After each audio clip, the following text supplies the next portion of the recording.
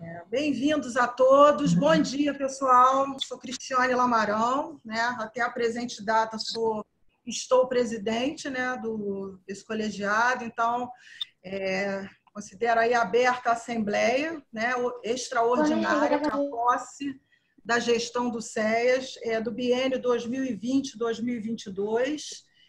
É, dizer da grande alegria que tive nesse período, tomei posse no, em agosto, com inúmeros desafios, agosto é, de 2019.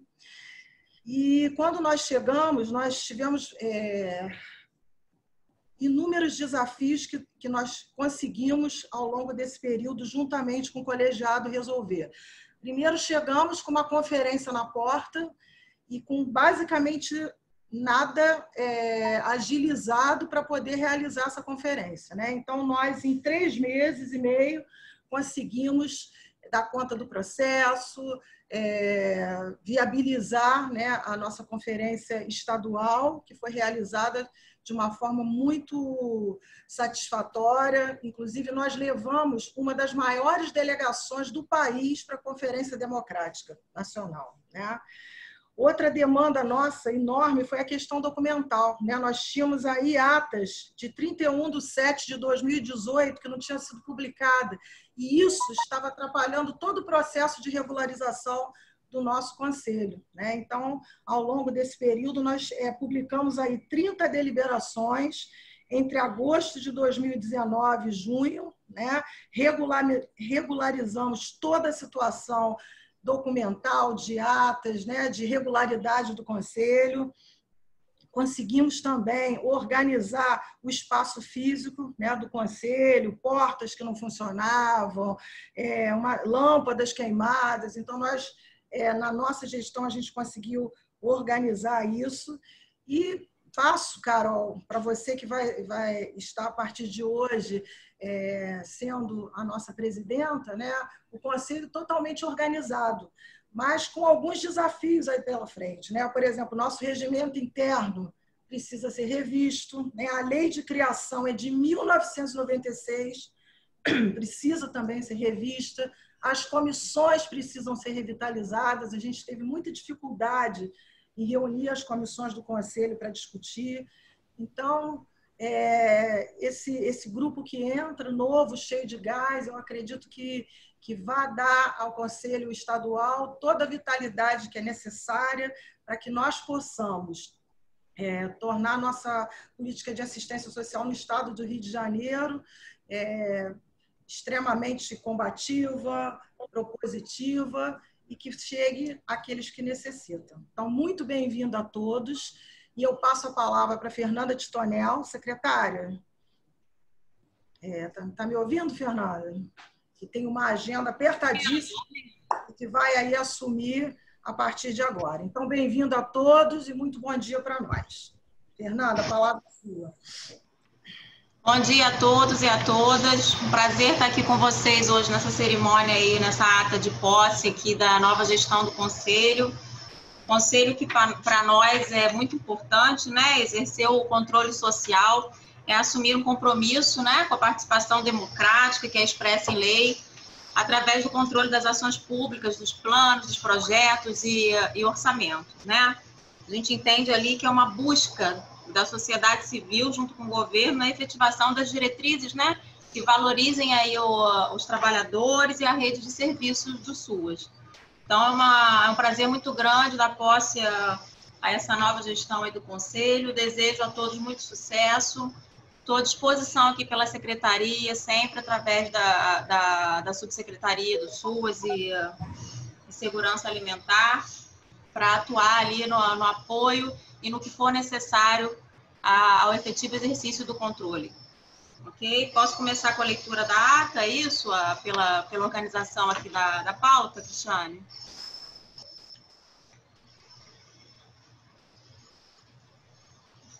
Cristiane? Oi, pode? Vou dar posse, né?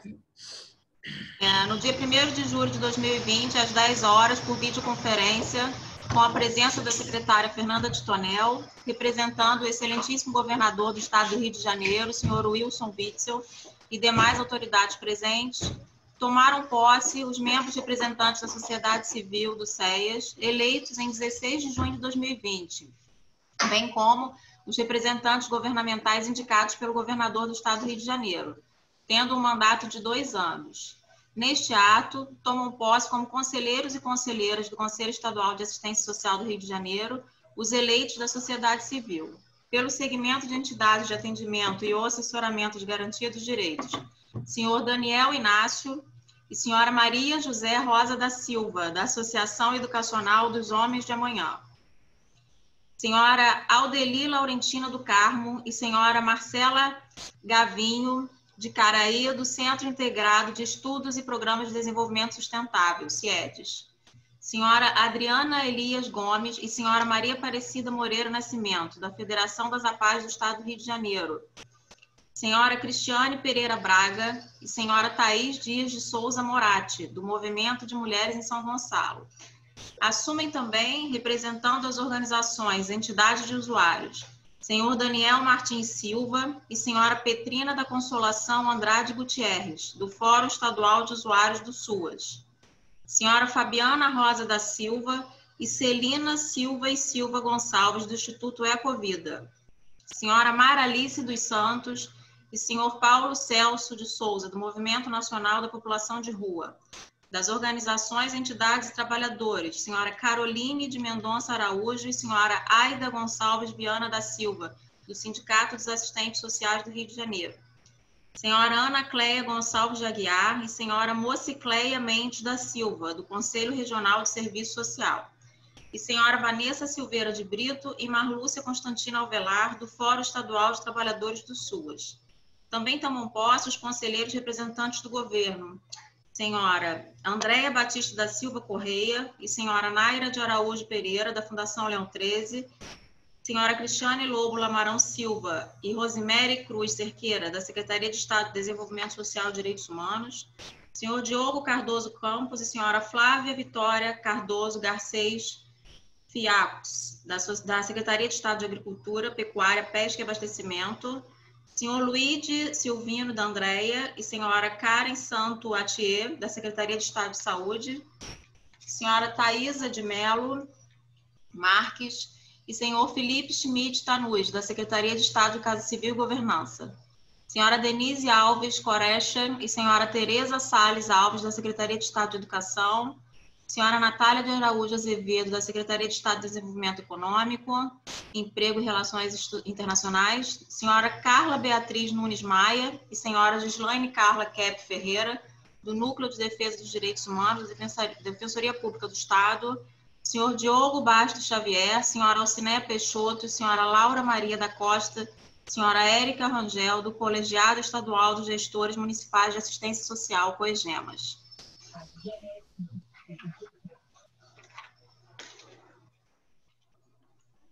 Vamos continuar a, a, a, reunião. Cristiane, continua a condução, por favor. Acho que agora é dada a, a palavra a demais autoridades presentes, pelo que eu estou com a pauta aqui. Né? Tem três minutos aí para cada um. Eu vou conseguir acompanhar mais um pouquinho. Em seguida, vou ter que me ausentar em razão de compromisso profissional. Obrigada, um, um abraço a todos. Eu passo a palavra para a Celita, que é da Comissão Eleitoral, que vai poder dar prosseguimento aí a nossa Assembleia. Tá, Celita? Está me escutando?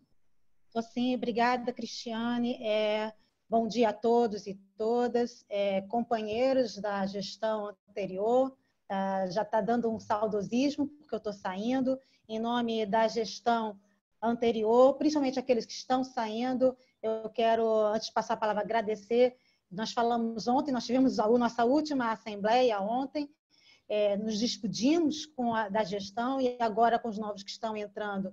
É, também me despeço em nome de todos, porque a gente não tem tempo para todos falarem, mas agradeço muito, foi um imenso prazer, muito aprendizado, muita luta juntos, muitas alegrias, muito choro, mas é isso, né? A luta é feita dessas, desses dois momentos, né? de alegria, de euforia, de tristeza, mas de muita luta, né? Então, quero agradecer é, e já desde já, desde já, passar então a palavra, nós convidamos algumas pessoas, algumas autoridades, algumas não entraram, então eu vou passando por conforme as ordens das pessoas que estão aqui presentes, tá? Então, passar a palavra primeiramente para a assistente social Memei Oliveira, que é técnica do Ministério Público, que acompanhou o processo eleitoral, é, para que possa fazer uso da palavra de três a cinco minutos. Muito obrigada mais uma vez, Memei, a palavra está com você. Bom, bom dia a todos. Me ouvem bem? Sim? Sim, pode então, falar. Tá. Sim. É, sim. Queria saudar, né, parabenizar essa nova gestão do Conselho, né, que ela venha com muito fôlego, né, porque os desafios são muitos, né, é, em plena pandemia, né, a gente verifica, a gente verifica questões, né, ligadas, né, a, a, a financiamento, a repasse de recurso, né, então, assim, a gestão vai vir com, com muitos desafios, né? É, o Ministério Público né, se coloca à disposição. Eu vou tentar, na medida das possibilidades, estar participando das reuniões do Conselho. Então, eu peço que me encaminhem os convites, né, para ver se a gente pode ter uma atuação mais junto, né, uma presença nas reuniões, para a gente estar vendo o andamento das coisas, acompanhando, contribuindo com alguma coisa, né? Queria frisar muito a importância, né, é, de estar de, de tá reativando né, esse trabalho com as comissões. A gente acha que, que, o, que o funcionamento das comissões é essencial né, para o conselho, porque fica tudo divididinho e a gente consegue nas reuniões né, ter um, um, um, repasse do, do, do, todo. Né? Então, eu acho que assim, viabilizar que as, que as comissões possam estar tá funcionando, né? É, que os municípios participem, que a gente não tenha só o município do Rio, que os outros municípios sejam atuantes nessa, nessa participação, né, para a gente poder ter essa, esse envolvimento do Estado, né, dos 92 municípios como um todo, fazendo as demandas, cobrando do poder público, né, políticas públicas de qualidade, né. Queria dizer que a gente está no Ministério Público com uma ação civil pública, uma ação civil pública bem grande, contra o Estado, né, contra a, a Secretaria de, de, Assistência Social por omissão, né? A gente viu que até o financiamento no período da pandemia vinha sendo comprometido, né? Então tem uma ação civil grande, então acho legal a gente, se, se tiver um espaço, poder convidar é, a, a, promotora para estar tá falando um pouco dessa ação civil pública e a gente somar esforços, né, para obter êxito, né, junto ao, ao judiciário, né, dessas demandas que a gente vem solicitando, né, cobrando políticas públicas de qualidade, né, para assistência social. A gente sabe que a situação no período da pandemia está ruim e pós-pandemia pode ser que a, que a coisa até venha a piorar, né? É um número muito grande, né, de pessoas em, em vulnerabilidade social, né, população em situação de rua crescendo esse contingente. Então, a gente está aí para somar esforços. Eu vou aguardar o convite, vou tentar participar na medida do possível né, das reuniões do conselho para a gente estar tá contribuindo. Então, assim, parabéns à nova gestão, força e que vocês tenham sucesso, né, êxito aí nessa, nessa nova gestão. É isso. Obrigada, Meimei, pelas palavras. Realmente os desafios são muitos, mas assim, pelo que a gente ouviu é, dos novos integrantes, o pessoal está com fôlego. Eu acho que é isso, né? Dificuldades a gente encontra no caminho sempre, mas o importante, acho que todos estão disponíveis a é, acertar em nome da política pública. Muito obrigada mais uma vez. É, eu passo agora a palavra é, para Hilda Correia, do Fórum Permanente sobre População Adulta em Situação de Rua, né? É, já foi presidente do CRES, presidente deste conselho também, desculpa, é, presidente, de, eu achei que eu estava com o microfone fechado. Presidente desse conselho já foi e está conosco para também dar uma palavra para essa nova gestão. Hilda, a palavra está com você. Mais uma vez, muito obrigada pela sua presença. É, bom dia a todos. É, quero cumprimentar a secretária Fernanda, a subsecretária Cristiane, que é uma pessoa, uma colega que eu conheço há muitos anos, desde o início da implementação da LOAS aqui no estado do Rio de Janeiro cumprimentar a Celita, é, os conselheiros que estão saindo, os que estão chegando, e agradecer o convite que foi feito a mim. Né? É, eu quero fazer uns comentários rápidos, sei que o tempo é curtinho, mas o, eu queria considerar que nós estamos vivendo no Brasil a experiência de conselhos por 25 anos. né, 20, de 20 a 25 anos, estão funcionando conselho em vários municípios, em todos os estados, acho que em todos os municípios do país, em todos os estados. Vocês estão me ouvindo? Eu estou sendo escutado? Bem?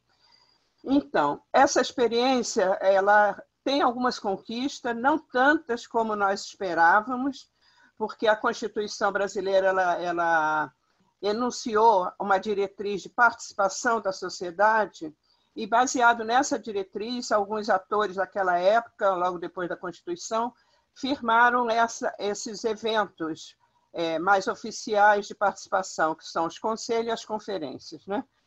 É, na, e a gente tinha uma expectativa muito grande com esses espaços. Qual era a expectativa? Valorizar a esfera pública no Brasil, que essa esfera pública no Brasil sempre foi muito frágil, muito frágil. Fragilizar a esfera pública, fragil, é, fortalecer a esfera pública, fortalecer, privilegiar os interesses coletivos, né? E, e, é o que eu falo, eu acho que tivemos algumas conquistas, mas não muitas. Né? É, agora, esse espaço é um espaço muito interessante, porque ele envolve múltiplos atores, né? múltiplos atores. É, entidades que defendem direitos, entidades que se comprometem com políticas públicas de qualidade, entidades que prestam serviço, entidades que representam os trabalhadores da política e entidades que representam usuários de política.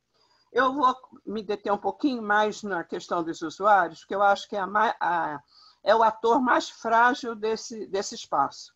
Né? E não é agora, é de sempre que se instalou a experiência de conferências e conselho, a presença dos usuários sempre foi mais, mais frágil. Eu, há anos atrás, num, num, estudo de mestrado na UERJ, eu me detive a pensar um pouco essa questão dos usuários. Né? É, e, e aí, esse estudo me levou a ler um livro que quem é assistente social conhece, é um livro antigo, não é novo, da professora Carmelita Asbeck, de São Paulo, da PUC São Paulo, em que ela fala que os usuários da assistência social eram membros das classes subalternas, é, subalternas do nosso país Quer dizer, vem numa trajetória histórica de subalternidade, pessoas empobrecidas que eram ajudadas numa prática mais perto do assistencialismo, que não eram escutados, ouvidos, simplesmente eram ajudados e deveriam agradecer muito pela ajuda. Né? E aí está caracterizada a subalternidade. Né?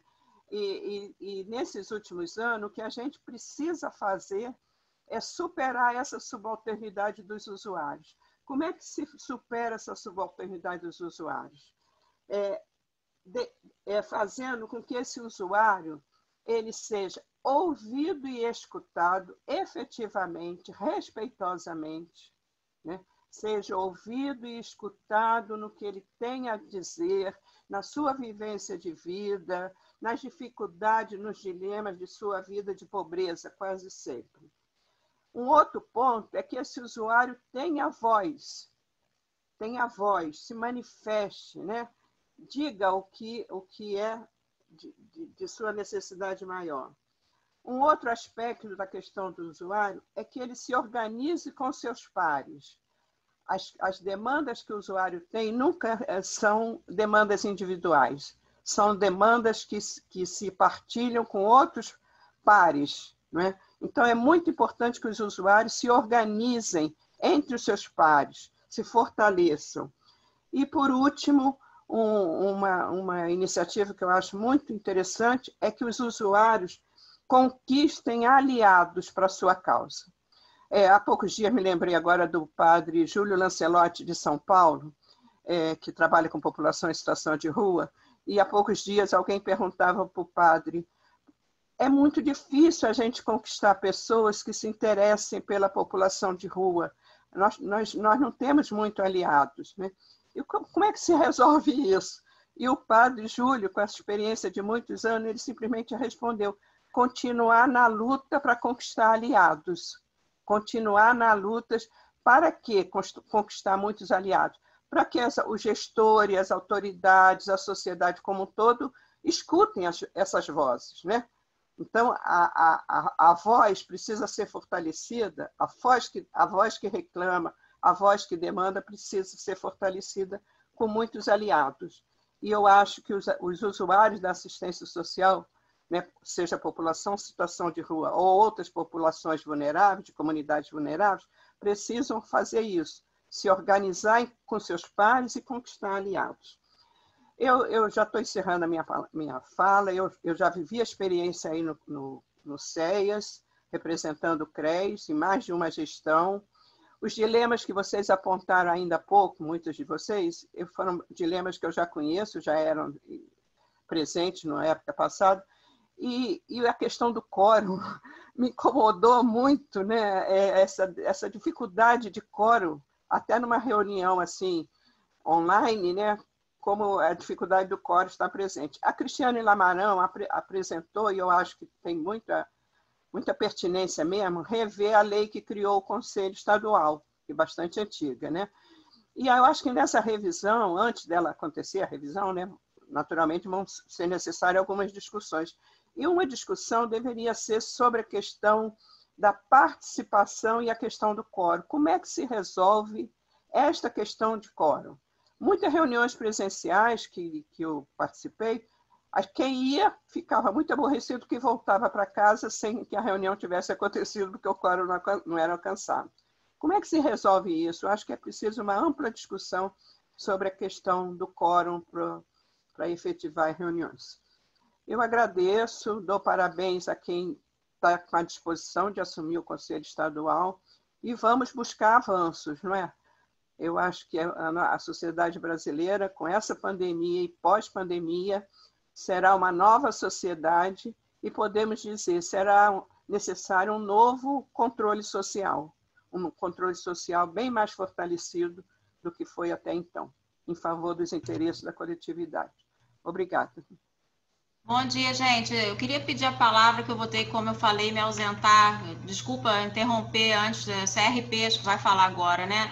Só um minutinho que eu, tô, eu vou precisar sair em razão de compromisso profissional. Só um esclarecimento rápido em relação às ponderações e considerações da, da MEI-MEI, tá? Nós temos, sim, uma ação civil pública proposta pelo Ministério Público que é, lista diversos itens, mais diversos mesmo, aproximadamente uns 15 itens de, de pedidos em relação a demandas de assistência.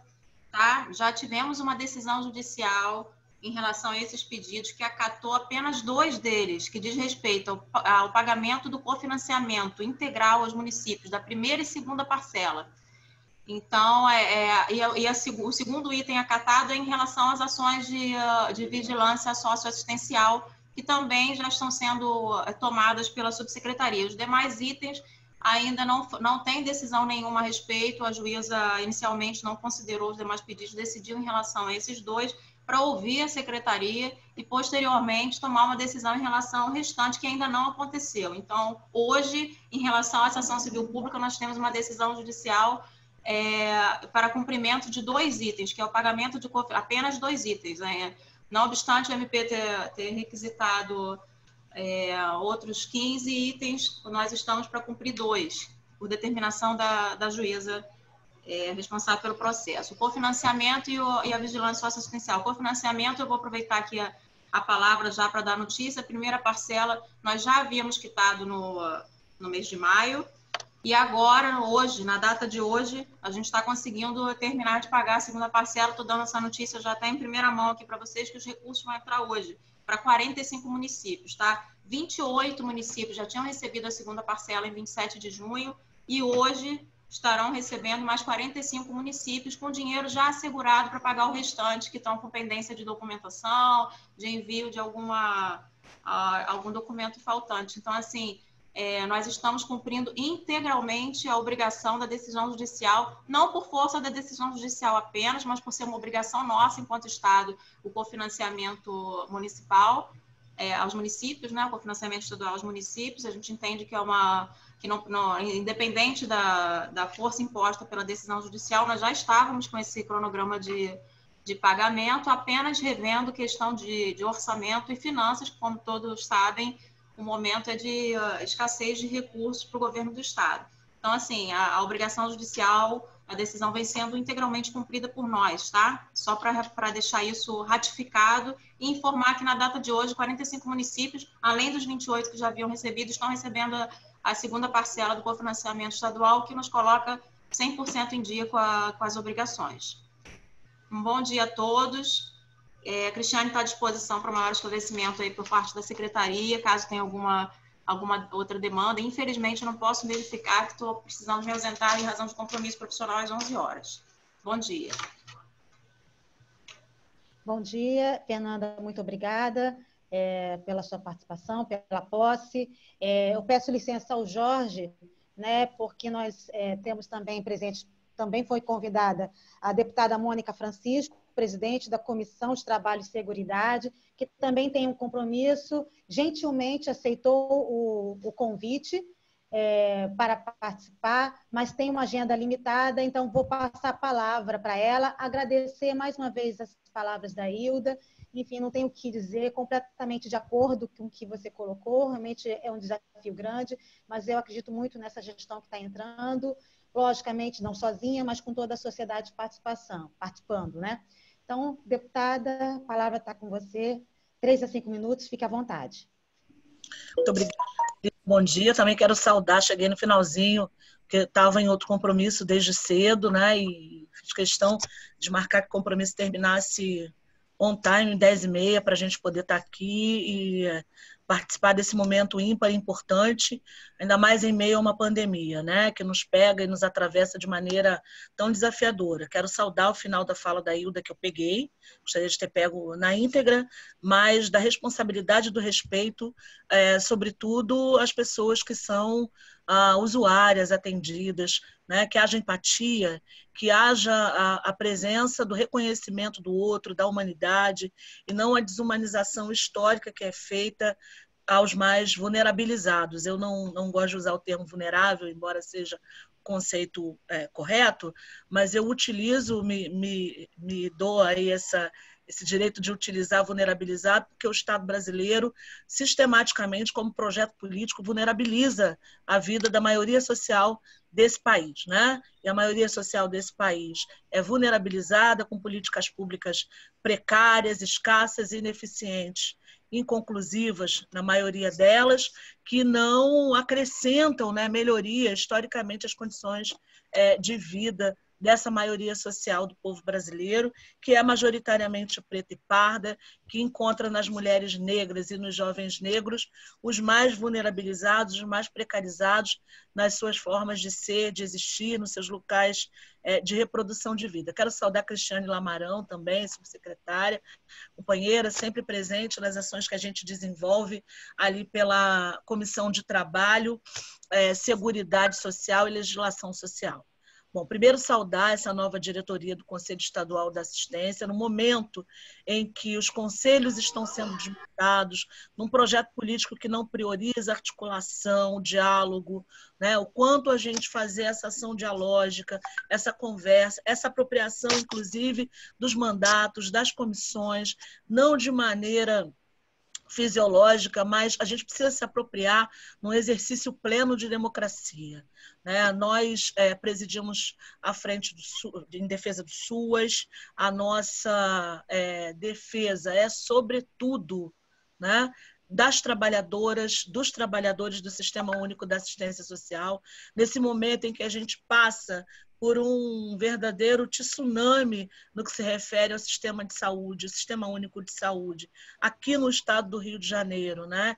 É, com todas essas graves questões que envolvem o tema da saúde, o quanto a assistência ela está imbricada nesse processo, né? o cuidado é, e a atenção aí às pessoas que vêm sendo alvos e sofrendo, também as próprias trabalhadoras e trabalhadores enfim, a gente vem fazendo uma série de conversas, tanto com FET suas, né, com companheiros e companheiras, que é, são a tradução do descaso com é, o exercício profissional das assistentes e dos assistentes sociais, né? que numa luta muito grande para é, legitimar essa profissão, né? é, sair do assistencialismo e ter a assistência social como política efetiva que dignifica a, a, a população de modo geral, né? É, e garante aí o exercício pleno da democracia e da, da cidadania plena de todas as pessoas. Então, quero saudar essa nova diretoria do Conselho, que nós possamos construir, de fato, é, ações e políticas que, de fato, né, dialoguem com a necessidade de todas as pessoas, que atendam e que, que ajudem, em alguma medida, a diminuir os impactos é, tão nefastos aí, não só da pandemia, porque a pandemia ela escancara um processo, né, é, do que eu chamo de uma economia política da pobreza, embora a assistência social ela não seja, né, é, ela não exista só. Claro que não falo da sua gênese, mas ela foi se tornando uma ação de política pública e a luta dos trabalhadores e trabalhadoras da assistência social, para que ela não seja identificada né, somente como uma, uma ação assistencialista, mas como uma política de direito, a gente precisa fazer e ampliar essa construção. Então, eu já coloco aqui a comissão do trabalho, as construções futuras, aquelas em que a gente vem dando encaminhamento, sobretudo né, aos mais é, vulnerabilizados, como eu disse aqui inicialmente. Então, eu quero saudar, dizer que a nossa comissão ela está aberta, é, intensificar esse diálogo para nós é fundamental e importante a gente vê escancarada, como eu dizia, né, no âmbito da pandemia, a, o que eu chamo de economia política da pobreza, né, da, da escassez, de uma vida escassa, ou seja, então a importância que a gente é, dá a essa tratativa, a esse diálogo, a essa construção, a legitimação das políticas, né, a legitimação dos trabalhadores e trabalhadoras, né, a não precarização, a defesa incondicional de condições de trabalho que sejam dignas, enfim, todas essas pautas para nós são fundamentais e importantes. Então, mais uma vez, saudar a todos e todas, agradecer pelo convite. Sempre que convidarem, convocarem, nós estaremos ah, a postos para atender, nossa equipe também. Enfim, que a gente avance na construção ou na reconstrução né, de uma sociedade menos justa, menos desigual, que a gente possa avançar na construção do que venha a ser esse novo normal, com novos marcos civilizatórios aí, com uma nova forma de ser e de existir. Saudações, muito obrigada. Tenham um dia né, proveitoso e que a gente avance aí, que tudo isso passe e a gente possa se encontrar presencialmente e, e avançar, né? Porque sendo bom para um é bom para todo mundo. Obrigada. Obrigada. Já retirar porque eu estou mesmo apertada. É muito ruim fazer isso, é bom a gente ouvir todo mundo, ter né, todas as nuances, todas as impressões. É muito feio essa coisa de chegar, sair correndo, mas é, eu vou ter que fazer isso, não fiquem chateadas, chateados, mas a gente vai se encontrar muito como a gente vem se encontrando. Um abraço grande, Cristiane. É um abraço, Celita, para todas. Um beijo e força para nós, porque os desafios são enormes, mas a gente chegou até aqui, a gente vai continuar avançando. Um beijo e sucesso para vocês. Obrigada, deputada. A gente entende, né? São muitas ações nesse período de pandemia, muitas reuniões, a gente entende perfeitamente e agradece a sua disponibilidade de estar conosco. Com certeza vai estar próxima, assim como o Ministério Público, outros atores. Hilda, muito obrigada pela sua presença. É, eu vou passar agora, então, a palavra para uh, o Jorge, Jorge Peixoto, que é também trabalhador do SUAS e representando o CRP, Lembrando que esta política é uma política que tem muitos assistentes sociais, mas não é só de assistentes sociais, são muitos trabalhadores de diversos níveis, né? Então é importante a gente ter aí é, essa união de todos os trabalhadores. Então eu passo a palavra agora ao Jorge Peixoto, que vai falar em nome do CRP. Muito obrigada, Jorge. Palavra com você. Obrigado, Celita. Tudo bem? Tudo, saúdo a todos, né? O meu nome, como ela disse, é Jorge Peixoto, eu sou psicólogo, atuo no Serviço de Proteção Básica, na unidade do CRAS, né? É, sou também colaborador do Conselho Regional de Psicologia na Comissão de Assistência Social e, como a Celita falou, me incluo como trabalhador do SUAS, né? Pensando em todas as categorias que fazem parte é, do SUAS. Queria cumprimentar todas as autoridades presentes do governo, da Casa Legislativa, do Estado, da sociedade civil, as entidades públicas e privadas presentes Gostaria de saudar também os novos conselheiros por estarem nesse desafio, né, nessa empreitada, especialmente num momento peculiar e difícil para todos, né, que atuam na, especialmente na área da assistência social.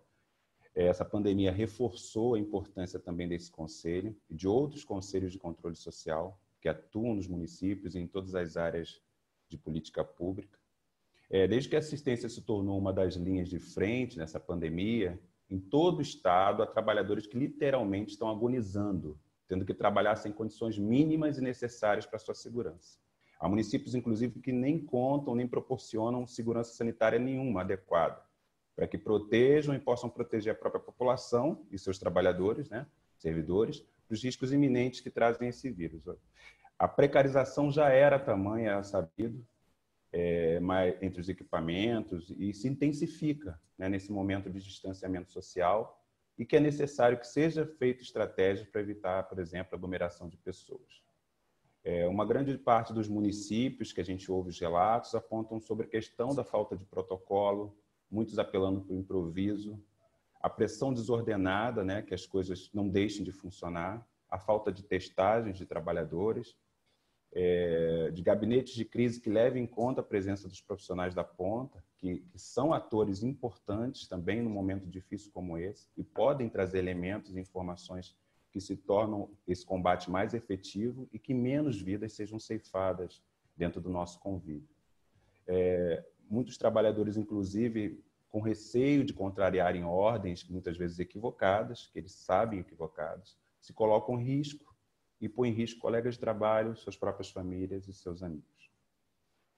Infelizmente para nós, trabalhadores, tivemos, tivemos a grande falta de sorte de termos, junto com uma crise planetária sanitária, vivenciar uma crise política que já se estende no Brasil com corte de direitos históricos, flexibilização do trabalho, da previdência, diminuição significativa dos verbos e recursos para assistência social, por exemplo, frutos de um modelo gerencialista, de gestão e de cunho ultraliberal. Isso é ciente. Essa pandemia só foi reforçar isso tudo. Além disso, esse ano é ano de eleição, eleições municipais, e há diversas práticas eleitoreiras que veem a crise não como um problema, mas, na verdade, uma oportunidade de se lucrar com ela. Seja por permitir o afrouxamento de isolamento social, no momento crucial, seja por permitir que as licitações, nesse momento que as licitações têm menos burocracia, sejam superfaturadas compras e obras em nome da pandemia, é, enfim, é, seja por permitir assistencialismo, como foi colocado pela colega que me antecedeu, né, um, assistencialismo que a gente luta para que não tenha, né, mas que ainda está presente sobre nós, um personalismo político, que sobressaiam sobre a cultura de direitos, que é aquilo que a gente acredita, que está preconizado no artigo 6 da Constituição Federal e que tanto defendemos para a nossa população. Eu queria encerrar minha fala, essa pequena fala, na esperança que esse Conselho, dentro dos princípios do controle social, que também está inserido nessa Constituição que eu, cedi, que eu falei, né, nossa Constituição Cidadã, que dentro das suas competências possam ser realmente aliados e fazer um espírito público prevalecer né, que a população em geral e aqueles que se servem dela como trabalhadores possam ter suas dignidades garantidas no exercício das suas profissões e nas suas próprias vidas. É, essa gestão do Conselho Regional de Psicologia, nesse momento que eu estou representando, ela preza por essa ética, pela democracia e pelo compromisso social né, da psicologia. E junto com os outros trabalhadores do SUAS, é, estamos na luta, junto com todos, no sentido de é, estar é, não separado, mas junto com a população, ouvindo a população, junto com essa luta que se, tem que ser travada e não pode ser banalizada como é feito por muitos lugares. Então a gente acredita muito nesse conselho, né? acredita na força que esse conselho pode ter e apesar dos grandes desafios que se impõem a todos nós, né, que possamos, dentro de nossas possibilidades, é claro, fazer que o espírito público e o coletivo prevaleça sobre as questões individuais. Eu agradeço muito esse espaço, saúdo todos, boa sorte nessa gestão e tenho certeza que falo pelo CRP quando diz que essa gestão do CRP está é, total disposição de todos os trabalhadores e desse conselho. Muito obrigado, um bom dia. Obrigada, Jorge, pelas sábias palavras. A gente assina embaixo. Né? Acho que é isso, reforçando o tempo inteiro. É, temos que estar juntos. Né? É, a gente não consegue uma política efetiva sem ser no coletivo e a gente conta com todo mundo. Mais uma vez, obrigada. É, passo agora a palavra para a representante do COIGEMAS, Elaine Medeiros, também que vai falar em nome do colegiado de gestores municipais. Está com a palavra. Obrigada por sua presença. Com você, Elaine. Bom dia a todos e todas. Em nome do COEGEMAS, em nome do presidente Diogo Bastos, eu quero saudar essa gestão que se inicia, desejar uma boa sorte a todos, colocar o colegiado à disposição de todos para contribuir na luta, na defesa e na garantia dos direitos, é, na defesa do SUAS, do fortalecimento dessa, desse sistema que é tão importante para todos nós, para os nossos municípios. Dizer que o colegiado é, tem se esforçado também na luta e na defesa desse, da política de assistência social. Nós nos colocamos à disposição, é, sabendo que o desafio dessa nova gestão também é um desafio muito grande. Exercer controle social é, é algo de fato desafiador é, para quem está chegando, né, é, novo nessa gestão. Então, nós desejamos a vocês boa sorte e que vocês possam fazer uma gestão de fato é, representativa é, para o usuário, sobretudo, que é aquele que necessita dos serviços é, dessa política de assistência social. É, é o desejo do Coegemas, é o nosso desejo e boa sorte a todos. Obrigada, Elane, pelas suas palavras. Mais uma vez, contamos com todos, inclusive com os gestores, né? É, vamos firmes nisso. É, passo agora, então, a palavra para Kátia Vascos, que é representante da FIBEX, em nome das entidades, também saindo dessa gestão atual, é, para fazer a palavra em nome das entidades e também se despedindo. Kátia, a palavra com você. Bom dia a todos e todas.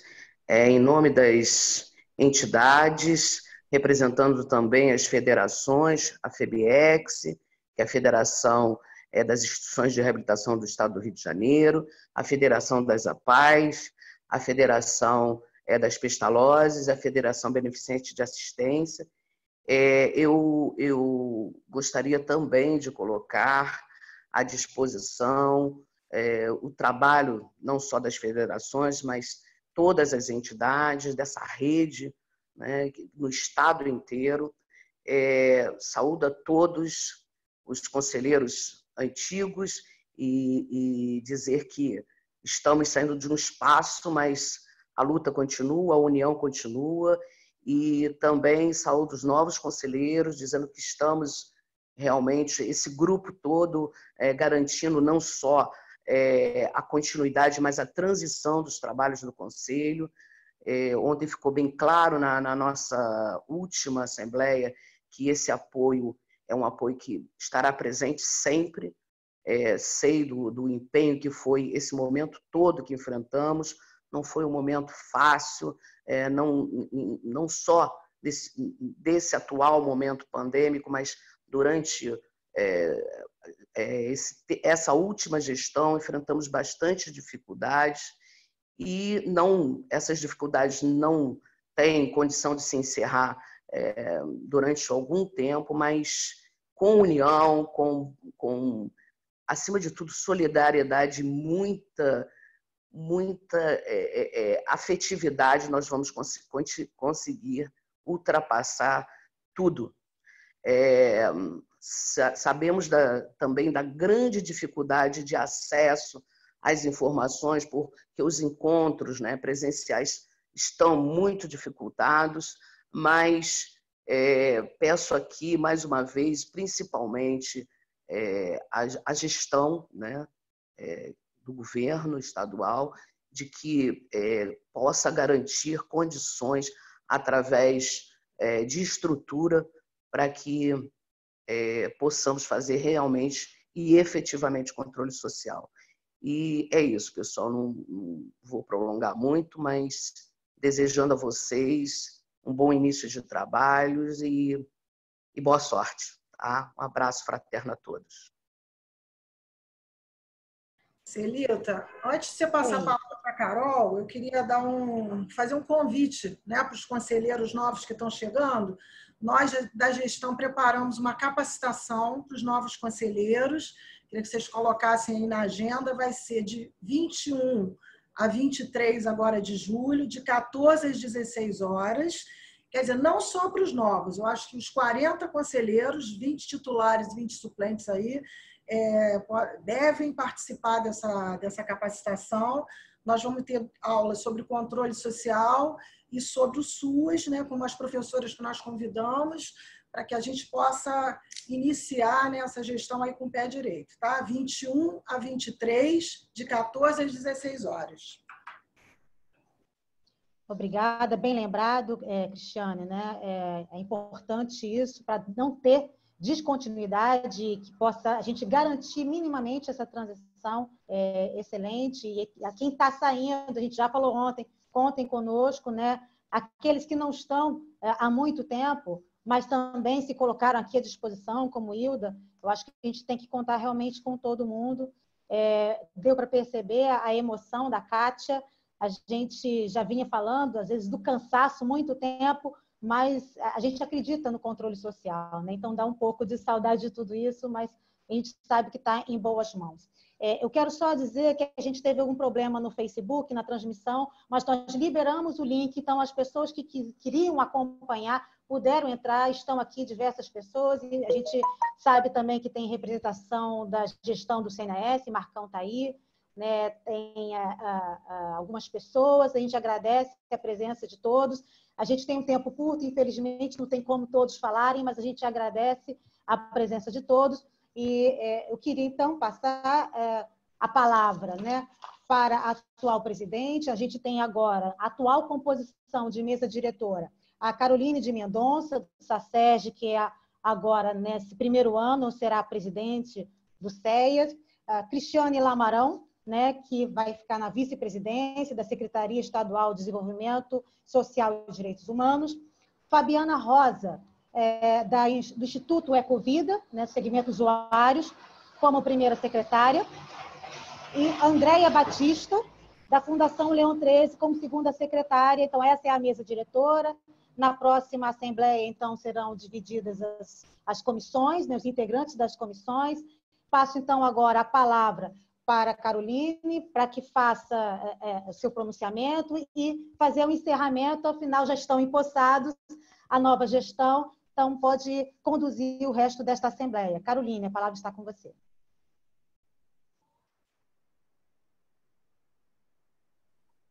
Bom dia a todos e a todas. É com emoção que eu assumo a presidência do SEAS com compromisso com a classe trabalhadora e principalmente com os usuários da assistência social.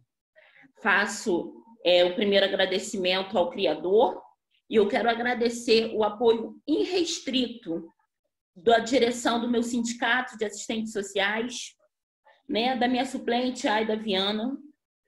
Faço ainda uma saudação à agora vice-presidente Cristiane Lamarão, a todos os meus conselheiros e conselheiras, mesa diretora, é, ao presidente da FENAS que está presente, meu companheiro Marcos Cruzeiro, que também é do CNAS, a Margarete Laverga, que é incansável na luta né, do SUAS, a, a senhora Elane Medeiros, que foi que é, que é secretária do município que eu trabalho, né, município de Nova Iguaçu, o qual eu estou de licença para exercício do, do sindicato. Né? A deputada Mônica Francisco, que tem assim exemplo de mulher negra que está na luta. E Kátia Vaz, que muito obrigado pelo seu apoio, pelo seu carinho, tá bom? A representante do Ministério Público, Celita, Tatiana e a todos os presentes.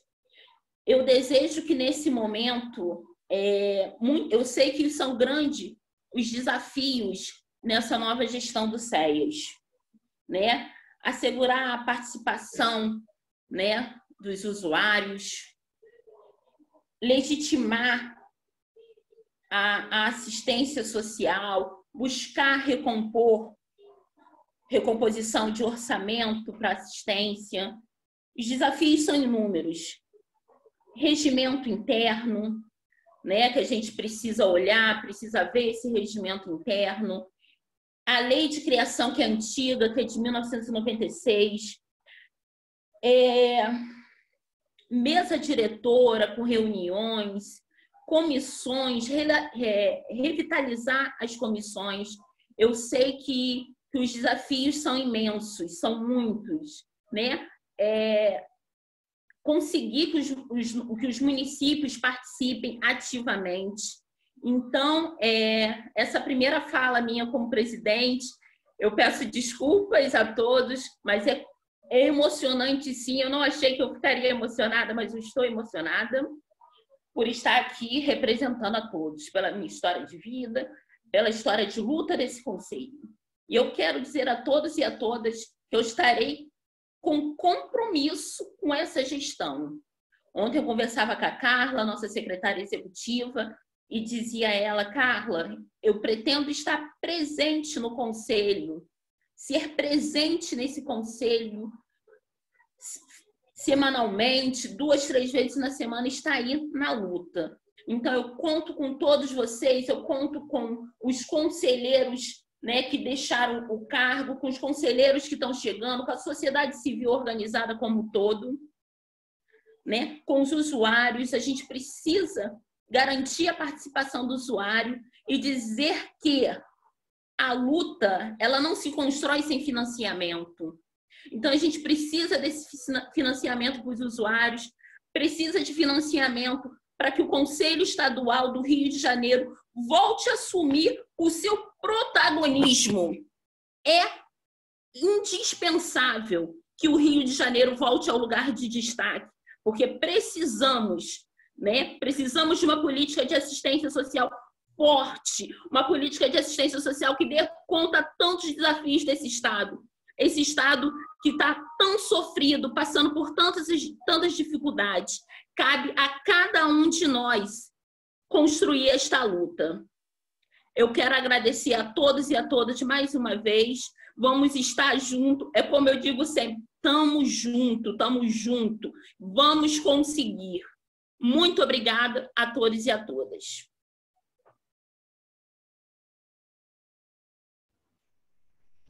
Bom, então, com a fala da, da nossa presidente, está emocionada, evidentemente, é para estar tá emocionada, eu agradeço e a gente, então, é, encerra essa Assembleia Extraordinária de posse, mais uma vez desejando sorte a todos. Muito obrigada pela presença de todos.